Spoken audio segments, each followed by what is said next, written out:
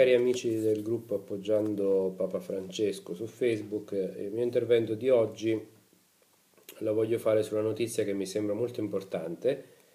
E, ehm, come sapete in, in, eh, Pakistan, in Pakistan c'è stato un attentato nella chiesa anglicana di Peshawar dove sono morte decine e decine di eh, cattolici e eh, c'è stata una presa di posizione degli ulema pakistani che condannano questa strage che mi sembra eh, molto importante eh, sottolineare. Eh, il titolo proprio dell'articolo preso dall'osservatore romano che ho conservato per voi è proprio molto bello perché eh, dice è come uccidere l'intera umanità. Eh, mentre in, in, Pakistan migliaia di cristiani sono scesi per eh, manifestare in tutte le principali città del paese, è stata eh, annunciata una fatwa da parte degli ulema eh, ehm, pakistani nel quale si dichiara che l'uccisione di minoranze innocenti è contro l'Islam. I religiosi musulmani hanno chiesto al governo di escludere dal processo di pace quelle persone che sono coinvolte nell'uccisione dei cristiani, aggiungendo che meritano anche una punizione esemplare per aver compiuto un atto così disumano. Nell'editto religioso, questo è molto importante sottolineare perché abbiamo sempre un'immagine dell'Islam eh, sbagliata, eh, fa, fa, più rumore una foresta, un albero che cade che, eh, che una foresta intera che cresce. E specialmente in questo periodo c'è un attacco al Papa Francesco da parte dei gruppi più conservatori eh, della Chiesa per, per questa sua apertura al mondo dell'Islam, in modo particolare Sto pensando alle critiche che vengono da questo gruppo minoritario delle efebristi che tanto male stanno facendo all'unità della Chiesa. E, e si cerca di fare tutta l'erba un fascio, ma nell'editto religioso di questi eh,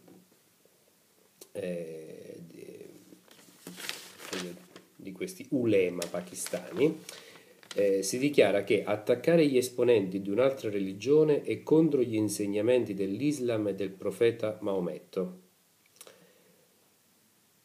Gli ulema hanno ricordato che il Corano e la Sunnah sottolinea l'importanza di proteggere la vita e i beni delle minoranze.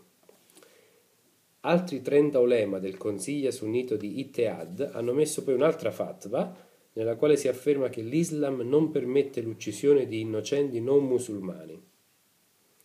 L'Islam non permette attacchi contro le minoranze innocenti e ribadisce il suo mandato di proteggere le loro vite e i loro beni. Da questo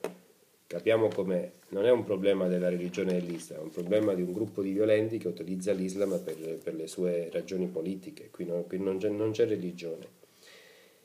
L'editto continua dicendo nell'Islam uccidere un essere umano innocente significa uccidere l'intera umanità, da qui viene poi il titolo dell'articolo. L'Episcopato cattolico in Pakistan ha dichiarato tre giorni di lutto e ehm, c'è poi un, un, un, tweet dell'arcivescovo di Canterbury che in questo periodo è Justin Welby e sapete che nella chiesa anglicana si alternano, eh, eh, cambiano in vita alla fine del loro mandato in questo momento eh, l'arcivescovo di Canterbury in Inghilterra è Belby e eh, il suo tweet è la bomba Peshawar rivela le profondità del male umano, tuttavia chi soffre parla di perdono e di giustizia e questo è l'amore di Gesù. Eh, mi sembrava importante sottolineare questo perché in seguito all'apertura eh, e alla, a, alla, necessità di contatto che Francesco, prendendo esempio poi da San Francesco che fece il famoso viaggio eh, in Egitto, proprio per cercare contatto con il, mondo, con il mondo arabo, ebbene proprio per le critiche che in questi giorni si muovono uh, a Francesco uh, da parte di quelli che vorrebbero una chiesa chiusa in una sorta di, di, di castello impenetrabile, questa iniziativa degli ulema pakistani mi sembra molto importante, bisogna distinguere tra quello che è la politica interessi, e quelli che sono gli interessi economici che spingono a questi attentati e quello che è invece eh, la fede, eh, che è una cosa ben diversa. Ciao a tutti.